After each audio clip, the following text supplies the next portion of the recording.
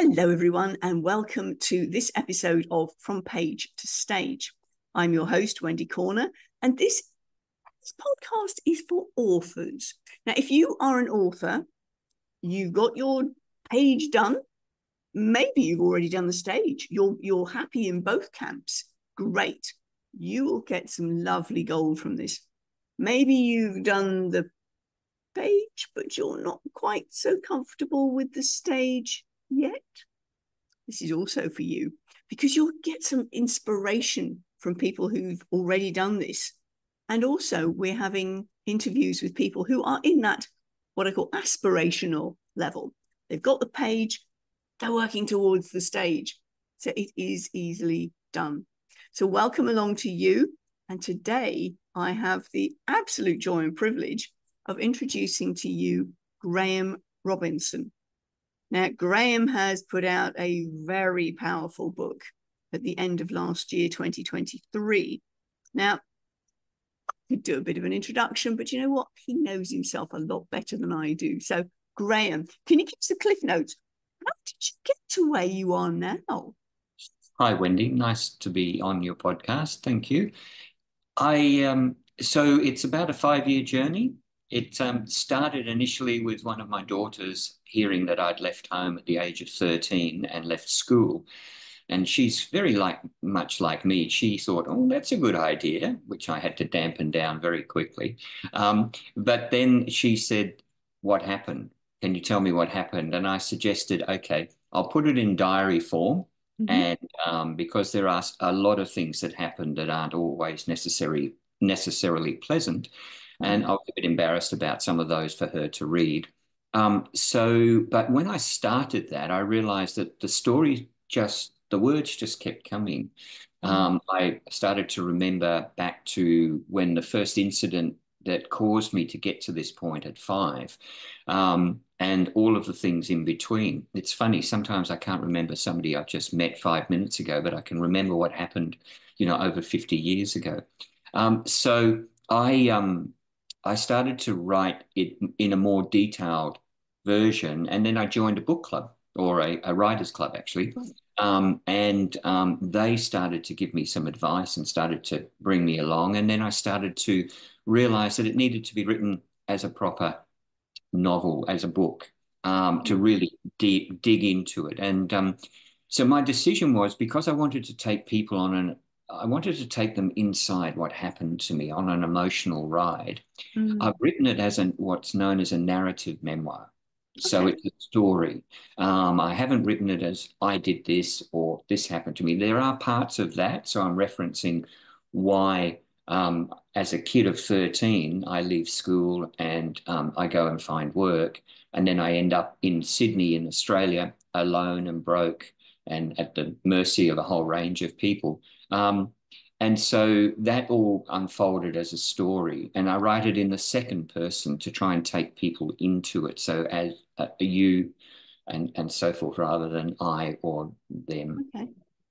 Mm. But yeah, mm. it's uh, quite a long journey, I must admit.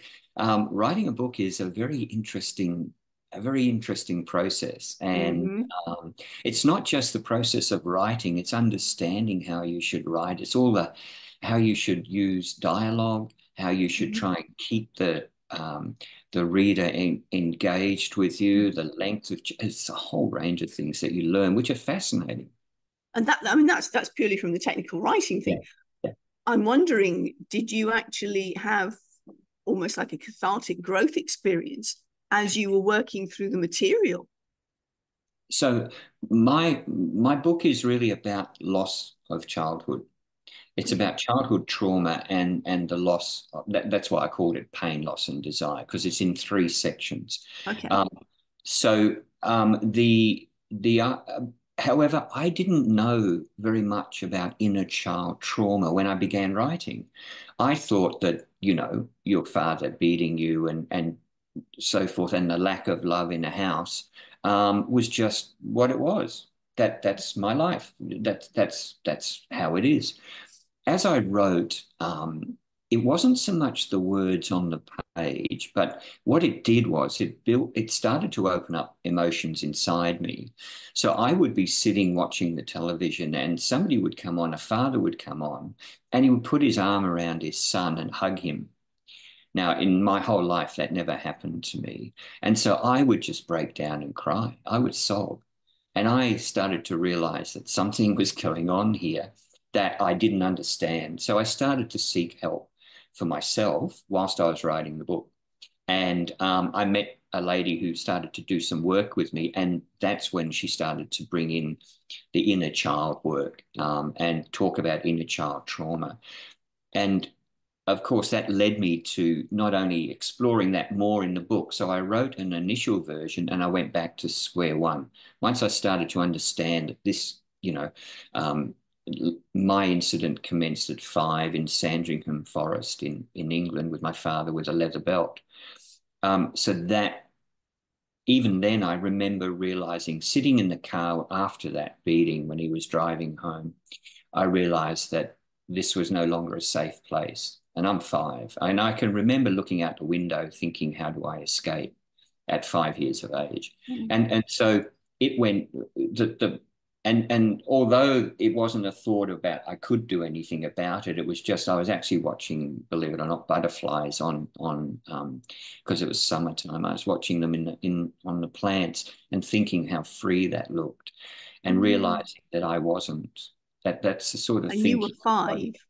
Yeah, yeah. You see, I remember those incidents clearly, and then. Mm. Um, and then from there there were a whole series of events of of that sort of thing. I mean, I, I found that if in any way I embarrassed my father, if I did something that embarrassed him, then he would react very badly. For example, um, we um, went to Africa to live, and we went by in those days, like we're talking uh, 60s um, uh, when we went out, we went by ship, by P&O ship. I think it was the Arcadia that we were on. And in those days, when they cross the equator, they have a special opening of the pool. Like they have a whole event. Our guy dresses up, does all that. So all the kids, myself included, were all lined up waiting to jump in the pool because it hadn't been opened until then. And um, as he opened up the pool, all of us rushed forward. But as I jumped in the pool, the ship rolled. And so the water sloshed to one end. And as I jumped, it came back and it knocked me under to the bottom of the pool. Um, I remember my brother jumped in, another man jumped in fully dressed, and they dragged me out and they put me on the side of the pool. And I, I remember rolling over and, and, and, throwing up some water and, and stuff like that. Mm-hmm. And the man who, who jumped in, he said um, he should be taken back to his cabin and, mm-hmm. and, looked after, or, or he didn't say looked after, but, but dried. Mm-hmm. And so my father and mother were there watching. Um, so they led me to the cabin and my father rolled up the towel and started to whip me. So that's his reaction to me causing him embarrassment in front of all the others. And then they locked me in the cabin for the rest of the afternoon, which wasn't, at least I was safe. Mm. So that's the sort of material, that's the sort of stuff that I was writing about that brought up the emotions. Um, and um, there, there's a lot more of not so much even that. By I realized that um, as a kid um, in England, I would I would um, play in forests in the summer, play in the fields in winter, just be out of the house because I felt mm. safe. When we were living in Africa, I would do the same thing. I'd run. I'd go into the bush. I mean, I I went into the bush one day and I was I was um, I, I went for quite a walk and I remember there was this big pigsty, huge sow with little piglets in it, and I, yeah, I was just watching, and then I went and walked up some what they call kopjes, which are just small hills, um, not not too hard to get up. So I'm lying on that my back in the sun, and it's just felt great. And some baboons came over the other side of the kopje, and and the the male baboon started opened up his mouth and started um, sort of running towards me. I, I still I don't think he wanted to attack. He wanted to get me off away away from the, the other family. You but, were in his territory. Yeah, yeah, that's right. Oh. But he oh. was big and I was terrified. So I'm sliding and rolling down the hill and he's sort of coming a little way down. Anyway, I get to the bottom and I look up and he's standing there, you know, and and this big baboon. And but I guess what I'm saying is that that was even safer to me than being in my house. I felt better being out, even though I took chances and there were lots of things that that occurred, um, but no wild animals attacked me. Um, just, um, um, but it was just safer. It was just, it was just better for me as a kid. And when I left school and left home, um, it was because again, um, I had I had some friends and I was at a dance and um, some friends pulled up in in a car and I was too young to drive, but I knew some older friends. Uh, this is in Darwin in in mm-hmm. Australia, um, and it's a very small town when it comes to to you know knowing everybody. Mm-hmm. And um, I knew he was drunk. Um, you know, you could smell it from the car. Um, right. But I still, and there was another friend I knew in the front seat as well. Um, but I still got in the car because by that stage there was an element. I, I don't know if I could say I didn't care whether I lived or died. I wouldn't go that far, but I knew that I would take risks. It right. didn't matter to me. And so I got in the car. Um, we screamed down the hill, heading towards um, uh, Darwin Oval. He lose, he comes up on a car too fast, loses control, and there's these huge coconut trees along this beach entrance, and we smash into that, tears the car nearly in half. Um, interestingly, um, well, I I, just, I I cut my head on the roof um, because I was thrown forward and hit the roof, and my knee was hurt because the seat jammed up altogether. But right. the Billy, who was in the front seat passenger, his I, I remember watching his head crash against the tree through the window. Um, oh. The driver got a bruised hip. That was it. That's all he got. Um, it was a big old Valiant, so it was a strong car. It was a solid mm. vehicle. Um, but um, so anyway, when I uh, the next morning I went home, uh, a friend at the hospital took me home. A guy called Philip, who became quite a quite a friend. Um, and next morning I'm all bandaged up, and there's still blood seeping through the cut on my head, and I'm so I'm, I'm hobbling down down the passageway because I knew I had to get out of the house before they saw it, but I, I didn't know what I was going to do after that. Anyway, my mother comes round the corner and she starts screaming, and my father comes round the corner, and then it ends up he starts to threaten me, and it just so it's that sort of element that um, drove me out. So anyway, mm. um, I, I left home. So that's how it all began because my daughter heard that I'd left home at 13 and she um, as I say, wanted to know why. And I could see in her eyes thinking, well, I wonder if I could leave as well. How old was your daughter when she asked this question? 13 or 14, the same age.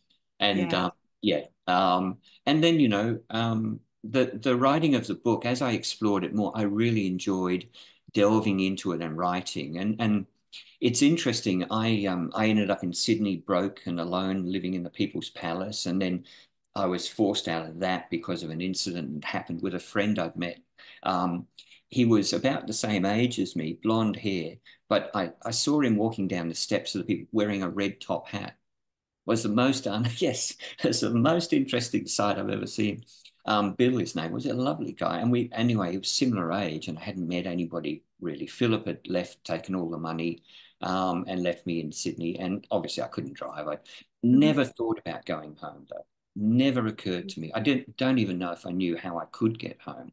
Never thought about a bus or anything like that. Why would Just, you? Sorry. You want to. Why would you want to go back? That, that's right. Exactly. I didn't have anything there, and and even though I had virtually no money, um, but um, so Bill um, found um, he he disappeared for a little while and then came back, and he um, had told me of a boys' boarding house that he'd come across in Lakemba, where the lady, um, if you paid for a week's rent, she fed you and looked after you, and all boys around a similar age. Mm-hmm. Um, so she took them in from, uh, I guess, social services, whatever mm-hmm. it was called then, but also other other boys.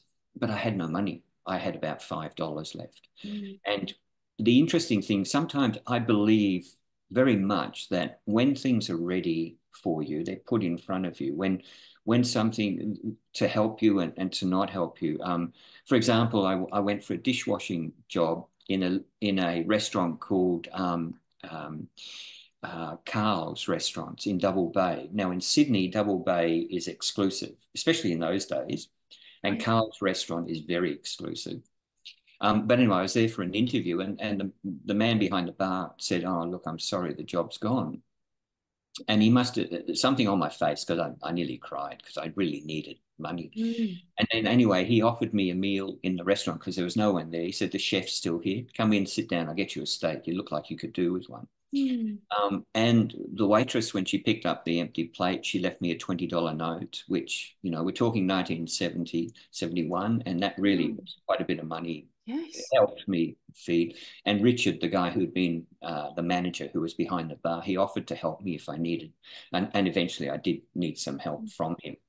But what I was going to say, on the way driving down from Darwin to Sydney, we picked up this hitchhiker a man in his probably 40s, 50s, who'd been to a rodeo. His name was Reg, true blue Aussie. He'd been a ringer and he was a lovely man. And um, he loved to sleep out. I mean, I remember we slept out in the, under the stars and he loved it. A great guy. And when we got to Sydney, um, he um, he and Philip didn't quite get along, but he and I did. It was like a okay. yes. And now when I look back at it, I, I think that it was probably my closest to a father figure that I had right. you know, somebody who actually cared uh, that much. Mm. When we got to Sydney, Reg said goodbye and he, he pulled me aside and he said, Look, I work at Resch's Brewery and I drink at the pub right alongside. He said, If you get in trouble, come and see me if you need hmm. anything. Mm. Anyway, I didn't think anything of that. But three days later, Philip's gone and taken most of the money. So here I am broke. And then when Bill and I met I met Bill about two days later, when um, when he mentioned this place to stay, I had no money, but I thought of Reg. And yes. so off I went and he lent me the money. Oh. So, you know, if we hadn't, it was a it was a 30 second decision between Philip and I. Do we stop for him? We've only just started our holiday, or don't we? Um, fortunately, Philip was very conscious about money. So he figured Reg had help pay. So we stopped. Mm. But if we hadn't, I don't know where my life would have gone. I, I, it's likely I would have had to have stolen or done mm. something else to get money to survive. Um, you say it, it's those little things that seem insignificant at the time, and right. yet, what would life have turned out had it been it's a sliding doors moment isn't it from that movie it is really um, we could have kept going and i would never have i mean apart from the fact that he was a wonderful traveling companion full of stories and all sorts of things that it was great to have him with us and also very sensible um, right. because he was much more mature than both philip philip sure. was 18 17 18 because you could get your license in those days at 16 in the northern territory um, and um, and so I was 14 when we went to Sydney, and um, it was it, you're right it was one of those moments and i've noticed those moments have happened in my life. Um, i'll tell you a story that it, it's probably not a sliding doors moment but it shows you that i feel sometimes we are protected we can be protected and we can have those moments. Um, when i was in africa with a friend we um, behind his house um, there was this beautiful well, this old cave and this hill and we'd go there sometimes on weekends and just camp out because it was close to his house. We were safe and but we were we were there and we'd build a little fire and we'd you know do a little weekend thing. Anyway, he said to me uh, one day, very popular in Africa was mealie maize, which is like a porridge, um, easy to cook and very filling and mm-hmm. obviously cheap. So, but you use carnation milk. So we didn't have any. So we walked, he said, there's a little shop down this little path and we'll go. And so we walked to the shop and um, there's a chicken wire fence all the way along because there's a, a, chicken run right mm-hmm. right alongside it, belonging to a house. On the way back, he's in front of me, um, and I'm walking, and a snake comes through the fence, and a rock slips and catches it, and it's probably no more than half an inch from my ankle. Oh and quite and so he turns. he's carrying a machete a little machete not a large one just, and he chops its head off and we cook it and eat it um oh, and right. I, okay well he he said oh i said to him what about the poison if there is any i don't know what sort of snake it was i have no idea um he said well the, the poison's in the head it'll be fine yeah um, I, I don't know if that's true. Somebody may argue that it's not. But anyway, it tasted rubbery and it was very awful. Um, but it's food what I'm saying is that those things happened all the time to me, that mm. they're close, but it didn't, you know, I mean, the snake, it could have been anything. I don't Mm. know. Most of them are venomous in, in Africa. Not all of them, but most of them are. Um, and yes, Did get the carnation milk?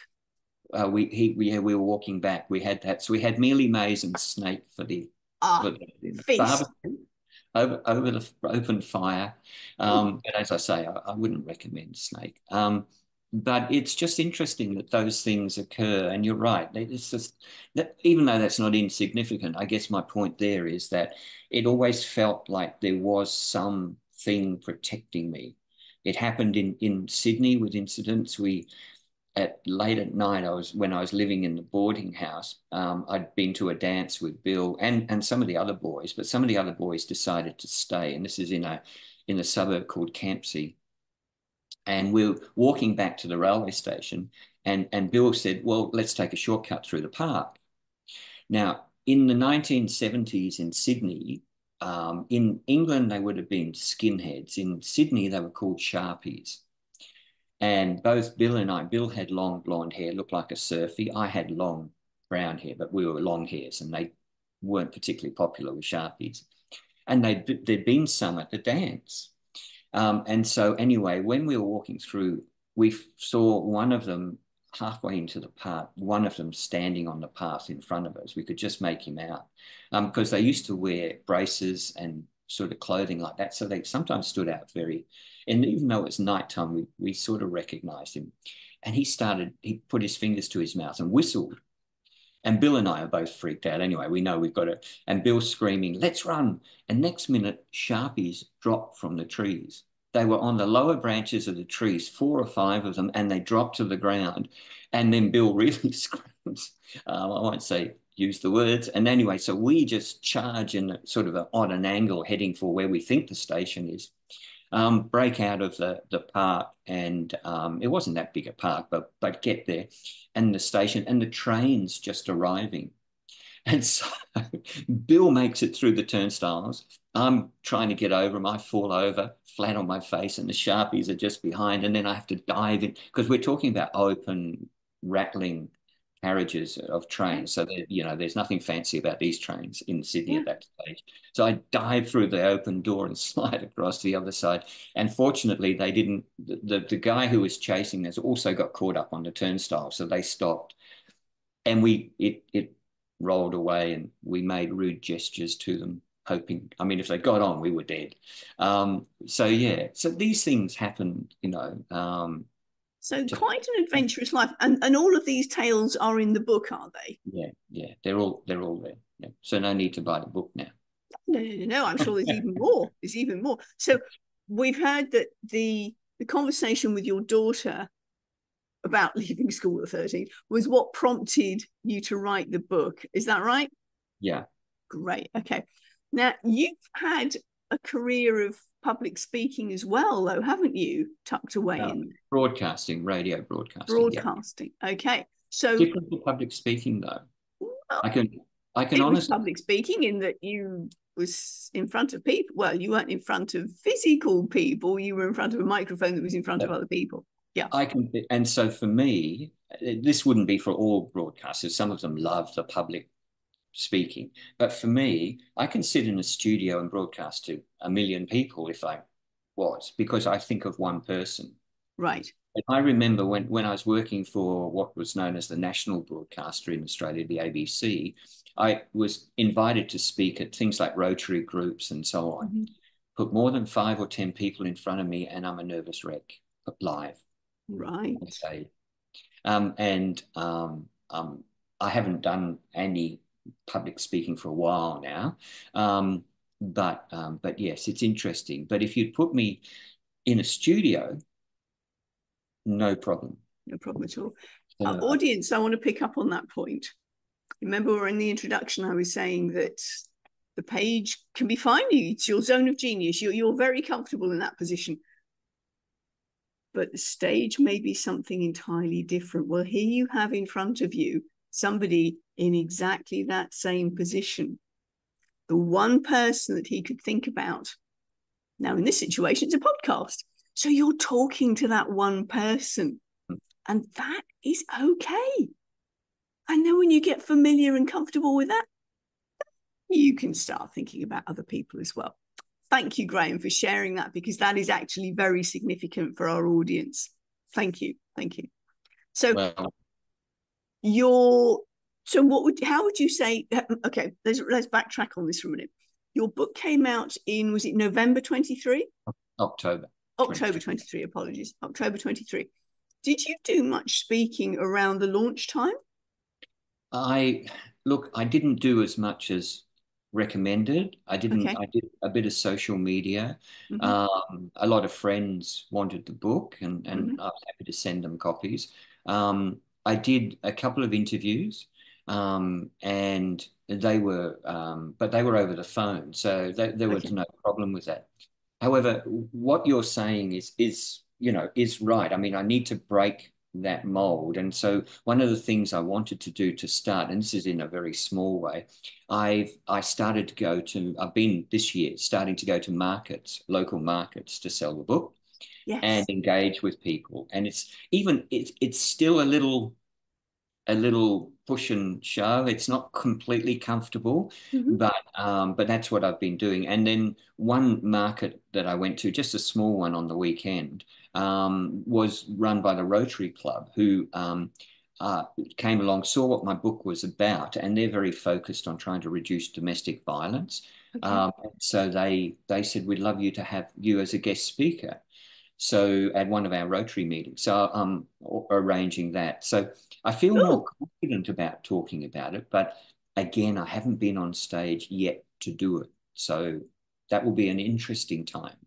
Well, this is what when I have um, particularly authors who go, "Oh, I, I don't do public speaking." My first question to them is, "What's your definition of public speaking?"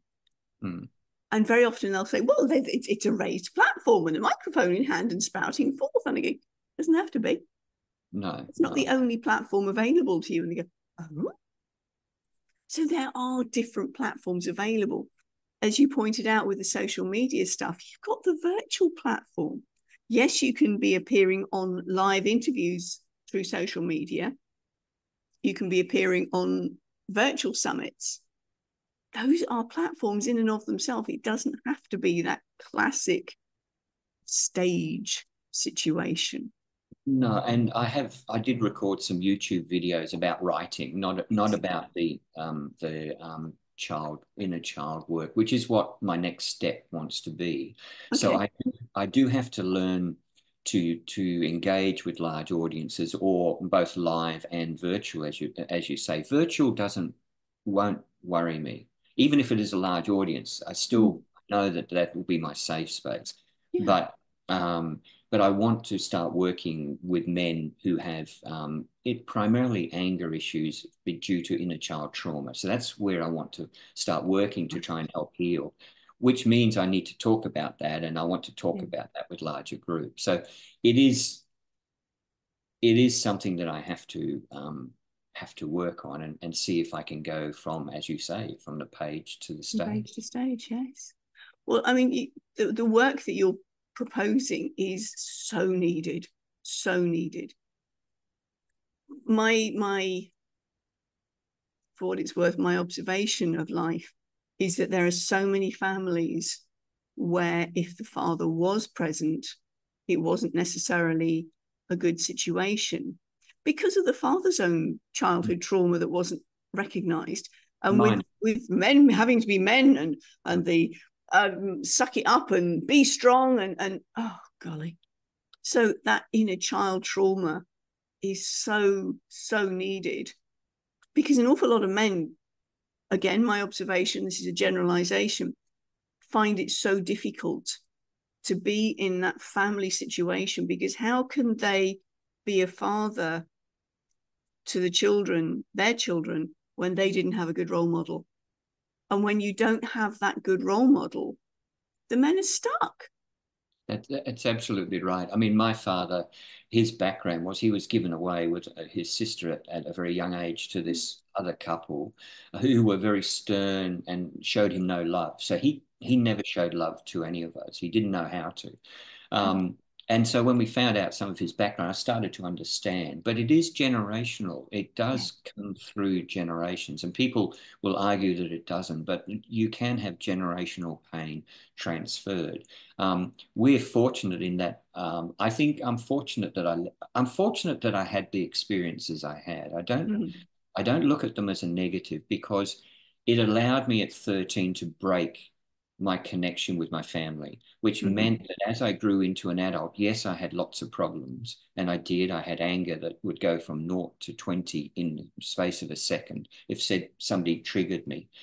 But until I learnt about that. But um, but it meant that I was able to break away from that sort of generational thing. So raising my children is different, and my brother too. He he didn't mm. raise um, very loving with his children and and has mm. a relationship with them.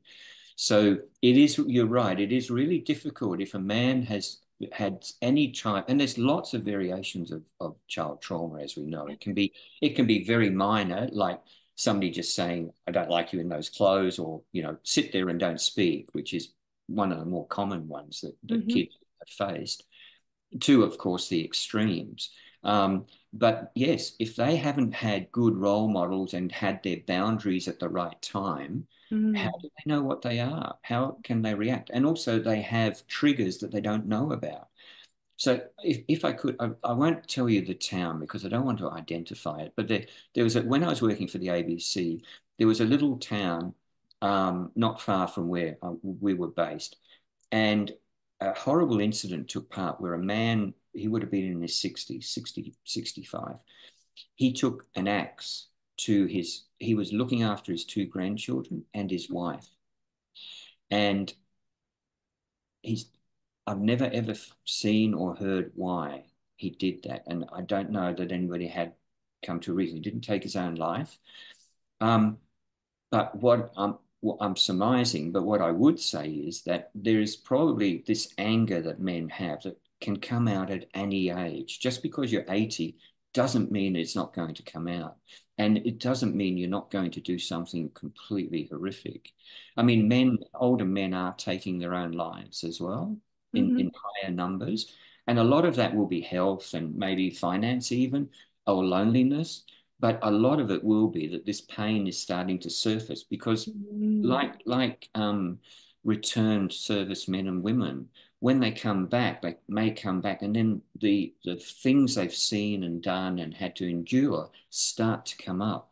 Yes. And, and and take over their lives, and they get to a point. We have, you know, we have lots of sadly vets who who take their own lives in this country, and I'm sure in other countries, yes. because it just gets overwhelming. There's no help for them, um, and so it, it i guess the point is it doesn't matter what age you are this stuff can come up and destroy you. Um, and yes i mean it, it i would like to work with men to uh, primarily on anger because that will you you work through anger shame um, mm. sadness. You work through all of those things and hopefully if you can help them get over some of that then they can have a much better life. And if you can get to younger men who've had difficulty in the early childhood imagine how much like if i had found what I found now 20 years ago, mm. my life would have been so much better. I probably would still be married. So mm-hmm. I'm divorced. I probably would have still been able to maintain a, a, proper relationship. I've never been able to maintain a good relationship. Mm-hmm. Um, and all of those things would have been such a better life. Mm-hmm. Um, so you need to get to people young as well as try and help older people. So yeah, yeah, yeah. you know, it's um, but it yeah, it is really important. Just, I, I, mean, I just feel it's something I can do because I've lived it, uh, know mm. what they're feeling, and I have learned some skills and how to um, how to help them heal. So it just feels right. You know, when something feels right. Yes, exactly. So let, let me get this right. The book was prompted by a conversation with your daughter. You're now thinking, come on, let, let I, I need to share this the book is you can do so much with the book but you can do an awful lot more when yeah. you when you stand up and speak about it i look at the book as a stepping stone great great the okay. book for me and and also gives me some if if somebody says oh you may not know what i feel i say well you know here i'll send you my book free mm-hmm. and you can read it and you'll see what I've been through because there's been a, I, you know, we've covered a little bit of it, but there's a lot more in the book that happened to Yes. me. So, Yeah. Um, so you, um, so I have lived the experience as well. So I know Mm. that the pain that they were, and I know the pain when it came out as Mm. well. So it's not just the pain you suffer, but when it comes up, it's still painful and it can drive you to do terrible things. Exactly. So, yes, it's a stepping stone to the next step is actually working with men. is working with with the guys now so are, are, are you doing some coaching work with them are you how does this look in terms of continuing to to appreciate the the the work that you are doing what does that look like It it will be coaching. I'm I'm looking at building um, a, a series of something like about 10 sessions per Mhm. per person over uh, and because when you work with somebody um, it can be quite painful. They need to sit in the in, in and let it come out. Uh, It would be a weekly, so it would be a 10 week program Mm. where we work in in trying to take them back to those moments, take them back to their childhood. So it is painful Mhm. and they have to go right back into that and, and give them then um, the ability I can help, then help them clean some of that up and Mm. then um, it also helps them manage um, what I want to do is and I know it happens for me manage the anger when it comes up Yeah. so I don't think you get rid of any of these child, inner child issues altogether. I think they always, you have elements within your nervous system, within your body. They're all through you because it's what you lived. Mhm. But what you can do is, as your nervous system says, okay, this is a trigger for me, this person um, is making noise over there, and that triggers me. Instead of reacting and yelling at a person to be quiet or, or, or getting into a confrontation, what you end up doing is, okay, I can calm this down now. I can control this nervous reaction Mhm. and I feel better. And that's that's what I want to get men So- to be able to do. having a conscious strategy when you recognize a trigger of going that would have been the way i would in the past have gone but this Mm. is the way i'm choosing to go now That's correct. Yeah. got it got it And it it is much healthier for them. And of course, when you realize that you can do that, you can you apply that to everything you do. yes You know, like like um, if if for example, one one of the uh, and this is a really maybe silly thing, but whenever I would go to a coffee shop, if I saw a long line of people, I would get all anxious uh, because they were waiting. I wanted to get to my coffee straight away. Now it's a Mhm. silly, silly thing, and I don't know where it came from because it wasn't always like that. Um, so I had to work on calming myself and saying, "That's okay. Get your coffee when you do. Now it doesn't matter." But it gave me, I needed a strategy that uh, it's a very simple thing, and I know people might laugh, but it actually did. um, I would avoid coffee shops with people, long lines. I would go early before people would get there, all of these sorts of things to avoid it. So it gives you strategies to help yourself in, in all ways. what you've shared with us then is that you can actually it doesn't have to be the big rocks No, no, it it can can be be the little pebbles as well Yes. Mm. And sometimes they're the worst because sometimes you ignore them and say, ah, and, and they grow. Um, so no, the, the big ones we know we should do something about. The small ones are the ones where we might leave them and, and they can also be very much a problem. Um, so yes, you're right. It, it can certainly be the small ones that are, are as much an issue as, you know, the ones that obviously when they come up are, are huge. the way the way I like to think of that in terms of the small ones is like the the classic metaphor of of um, yeast in dough. Ju- Just needs a tiny little bit of yeast, but oh boy, it can affect the whole. Well, that's the idea. It does. It, it makes the whole thing rise. But if that's on a negative perspective, that's when if you can identify what that yeast is and go, no, thank you, we can take that one out and put something instead. Yeah. That's right. Replace it with a good, a good emotion, feeling good it. about yourself. Um, yeah, that, that that's exactly right. It, it's, I mean, it's the same. You know, if you want to talk about the old pebble in the water and the ripples that take effect, Um, if it's a good ripple, then that's wonderful. But of course, sometimes it's not. Some, yeah. Those ripples sometimes are negative and they do ripple through your body and they affect other things. And that's, um, you know, people, you're right about men don't always come forward, although there is a lot more talk about inner child trauma. Um, but yeah, you do need to, um, you do need to work on it. And, and I, yeah, I'm hopeful that that's, that's the next career path for me. Yeah. I mean, uh, forgive me, I'm, I'm just going to interject here. We had a, one of our TEDx speakers a couple of years ago. He heads up the Man Up project in Perth, and he's going into high schools to say to the young lads, particularly, you know, the, the macho ones, again, yeah, come on, boys, this is something that you need to consider. It's not the, the, the macho thing's one thing, but the suck it up and he actually tells the tale of his cousin who was maintaining the bravado even the day before the conversation he had with with this guy even the day before he committed suicide so nobody could see it coming and that's especially uh, that's really the age you need to get to kids yeah. get to young men um, and uh, even if they just think about it even if you just plant a seed and it's a bit like your yeast example it's that seed will then grow. As they see things that they do, you hope that that seed will go, oh, okay, this is, yeah. And it has to be like that because um, you have to get to those young men because then that will give them such a better life. I can't tell you how much better I am now, five years on, from writing the book and getting the help during that period to what I mm. was five years ago was a totally different person. Um, and um, it's just, it, it is like chalk and cheese, the difference. Mm. Oh. Wow. Thank you so much for sharing that. My pleasure. So, one, well, finally, as we're winding up, I know you're, you're not overly happy with the stage bit yet but on the podcast, on the broad, I'm, I'm going to ask you: Have you done much talking about the book? I, I know we said a few things, but how do you feel about sharing that information? We, we've just shared a podcast together. My question I'm getting to is: How do you embody your words from page onto the stage? I um, I am very. Uh, this is something that uh, people ask me. They say, "Oh, you're brave to do this. You're this," and, and that's not really what it is. It's about wanting to share my story because I want to get to men, and I'm very happy to share.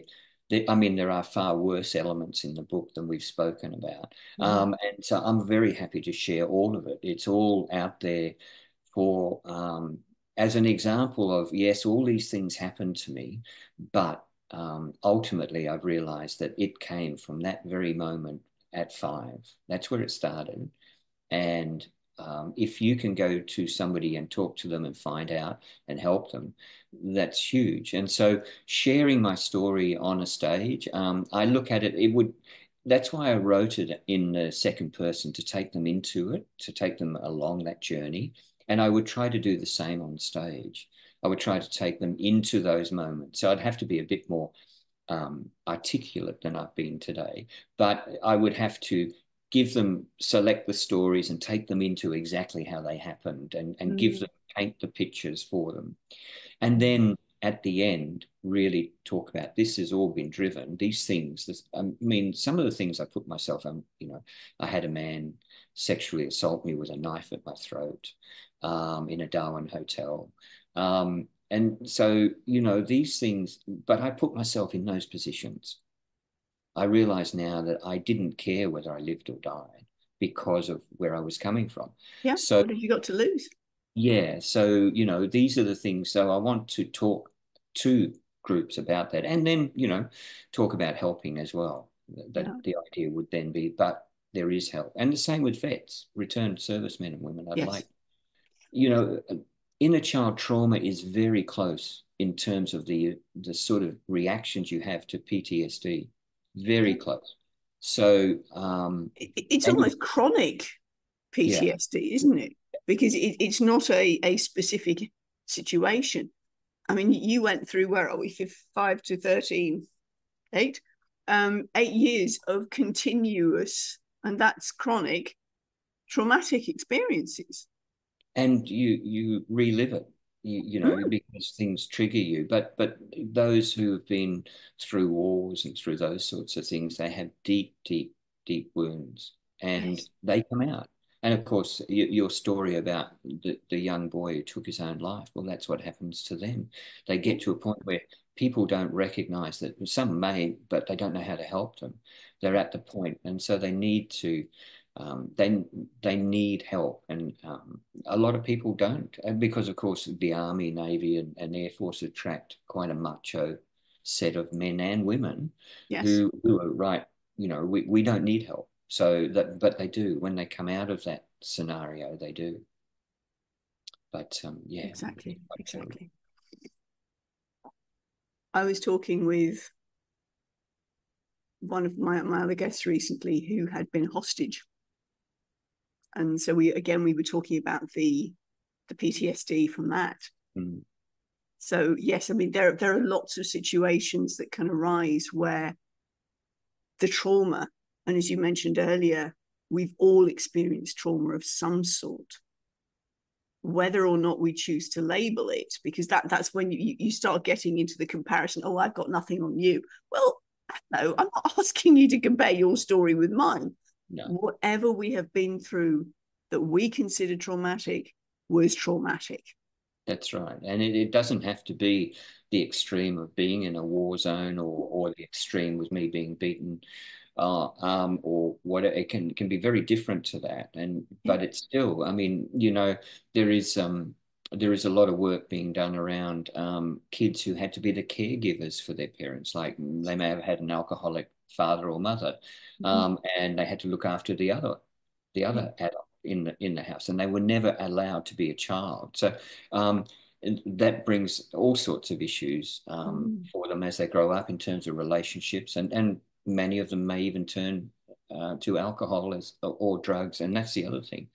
People turn to drugs and alcohol to fill that hole that they don't know what the hole is. It's just there inside them. They don't understand, and they they they fill it with those things. As you say, it's a very large topic. it is, and you're and going for a little slice yeah. of it, which I totally honour you for. So thank you so much. Is there anything that we've missed off as we're winding up? No, no, I um no, it's been a lovely conversation and it's been great, great conversation. Um, and um, yes, hopefully um, I um, will see you along the journey of podcasting and and maybe on stage somewhere. Looking forward to it. Looking forward to it, Graham. So thank you so much for sharing with our audience your from page to stage. For now, bye from us. Bye.